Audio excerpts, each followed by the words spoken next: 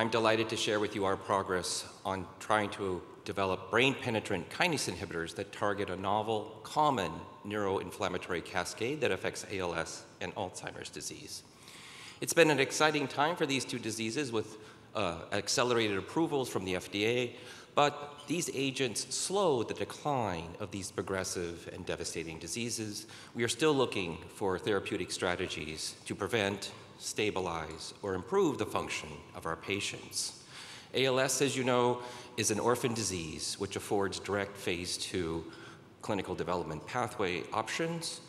Alzheimer's disease, on the other hand, is not an orphan disease. 6.8 million patients with dementia, 12 million patients with MCI in the US, and countless of millions in the preclinical stages where these therapies may be, in fact, the most efficacious. These diseases have been difficult to crack in part because the relevant cells disappear. So the disease is the predator taking out weak members, weak cells, and so what we get to study under the microscope in autopsy brain samples are survivors, cells that have a mix of surviving mechanisms and pathogenic mechanisms. And deconvoluting those two different pathways has been challenging. For instance, amyloid, the amyloid plaques and neurofibrillary tangles are not sufficient to cause dementia. This is work from my colleague, Teresa Gomez Isla, at Mass General, where she's collected numerous cognitively normal individuals who have the same burden of plaques and tangles as those patients with um, cognitive symptoms. The difference, when she studied the brains in detail, the difference is neuronal loss and neuroinflammation. And, but the root causes of neuroinflammation have been elusive. Two years ago, we reported a root cause of inflammation accumulating within the cytoplasm of neurons in patients with ALS, and that is double-stranded RNA in the cytoplasm. This is associated with a pathogenic protein, TDP, 43. And TDP43 is also present in about 50% of patients with dementia, including Alzheimer's disease. So this double-stranded RNA TDP43 combination is present in over 90% of patients with ALS, including um, all patients with sporadic ALS, and in about 50% of patients with Alzheimer's disease, all of them sporadic disease. This is an important finding because double-stranded RNA is a validated damage-associated molecular pattern. It engages with the innate immune system to activate antiviral type 1 interferon signaling.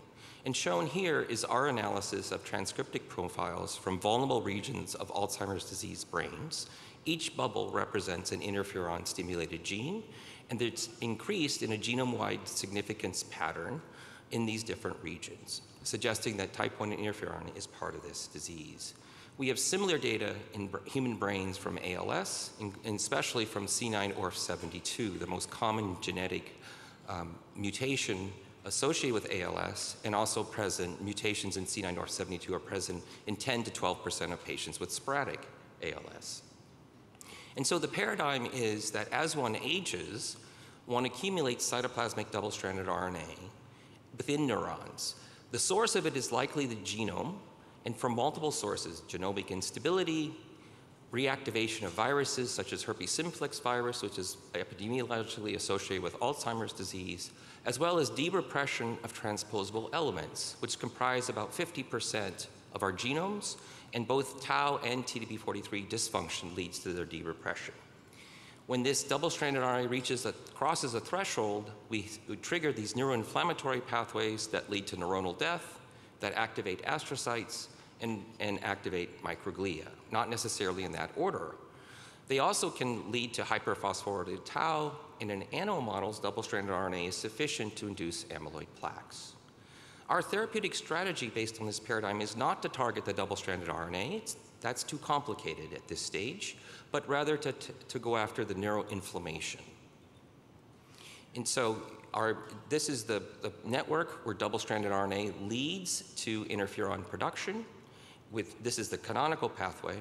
There's a second pathway involving double-stranded DNA, and that can activate cGAS sting and, act, and then activate TBK1, a common kinase, signaling kinase in this pathway. Recently, two months ago, Li Gan from Cornell published that cGAS sting is activated in microglia tau fibrils bind to mi- mitochondria that release the mitochondrial double-stranded DNA into the, into the microglia cytoplasm, and that activates this pathway. Our therapeutic approach then has been downstream. Both computational and laboratory studies have led to our identification of baricitinib, an FDA-approved JAK inhibitor made by Eli Lilly that's approved for rheumatoid arthritis, alopecia, and COVID. This blocks the inflammation and rescues neuronal death in our in vitro human cell-based assay. And so this convergence of data from human brains as well as uh, systems pharmacology has led us to launch the basket trial, um, NADL's basket trial. This is a concept we borrowed from cancer where one disease mechanism is present in two different diseases and we recruit patients from both diseases. We treat them with the same agent.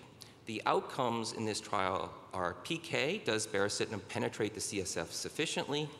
Does it move the neuroinflammatory biomarkers in a therapeutic direction? Does it move the neurodegenerative biomarkers in a therapeutic direction?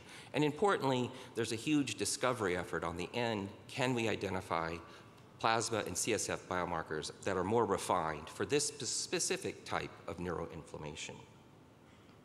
But we don't think that baricitinib is going to be the final answer here. Um, our systems pharmacology have identified that the mechanism of action of baricitinib in neurons is not necessarily canonical, and this is supported by our, our CRISPR-Cas9 screen of this human neural cell assay. We identified um, that TYK2 was a prominent hit in this assay. This is a JAK kinase family member. It can phosphorylate STAT1, and three weeks ago, I was at a Keystone meeting, and TYK2 can phosphorylate tyrosine 29 on tau. This is work reported by Huda Zoghbi at Baylor, and that increases the half-life of tau and exacerbates tau phenotypes in a mouse model. And so TYK2 inhibition may be um, important both for neuroinflammation as well as tau-based pathology.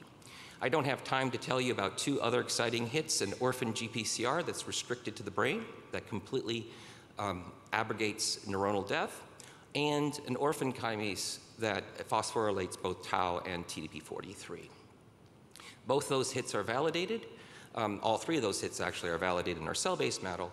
In terms of genetic validation for TYK2, there are polymorphisms in, present in individuals that reduce the STAT1 phosphorylation uh, by TYK2 by 50%. These individuals have a reduced risk of rheumatoid arthritis, lupus, and multiple sclerosis, and we are currently investigating their, their incidence of Alzheimer's disease and ALS. Importantly, these individuals do not have an increased risk of viral infections, fungal infections, or mycobacteria infections. These are all adverse effects of baricitinib and other JAK inhibitors. And in unpublished data in our, with our collaborators in, in Imperial College London, those individuals with this particular polymorphism in TYK2 have lower CXCL10 levels. This is a neuroinflammatory marker that we're studying intensively in the basket trial. For small molecule validation, I'm going to show you data on deucravacitinib. This is a BMS very selective TYK2 inhibitor that was recently approved for psoriasis. It does not penetrate the brain, unfortunately. In our human neural cell-based assays, um, there is, we, if we treat them with cytoplasmic double-stranded RNA, we see this is the full proteomics. Is these are interferon-stimulated gene products, and they're massively upregulated by double-stranded RNA. Treatment with this TYK2 inhibitor reverses this pattern. So we reverse the neuroinflammation, and then including CXCL10 in this human neural cell-based assay. In, a, in addition to reducing inflammation, we also rescue neuronal death in a in a um, dose-dependent manner. And so further studies have gone on to identify not only TYK2, but a second kinase target um, that augments the actions of baricitinib and deucravacitinib at, at lower level, at low concentrations. Together with the Harvard Therapeutics Institute, we've collaborated and conducted a virtual screen we have molecules, two compounds that are dual kinase inhibitors. They're nanomolar inhibitors of TYK2 and this second kinase target. From those hits, we've synthesized 31 different compounds for SAR um, analysis, and all these compounds have the potential of blood-brain barrier uh, crossing properties. These molecules then will be put into our proprietary pipeline with human neural cell-based assay, as well as double-stranded RNA-mediated mouse models that are in my lab at Mass General. We'll combine these with the biomarkers that are coming out of the, the basket trial. And together, we've established a small molecule discovery program with a high potential to achieve a developmental candidate against one or more targets. Our, we ask for $3 million for uh, continuing our SAR and blood-brain barrier optimization and in vivo proof of concept over the next year and a half or so, and then hopefully that leads to a bigger ask for lead optimization and IND-enabling studies. Thank you for your attention and happy to answer any questions.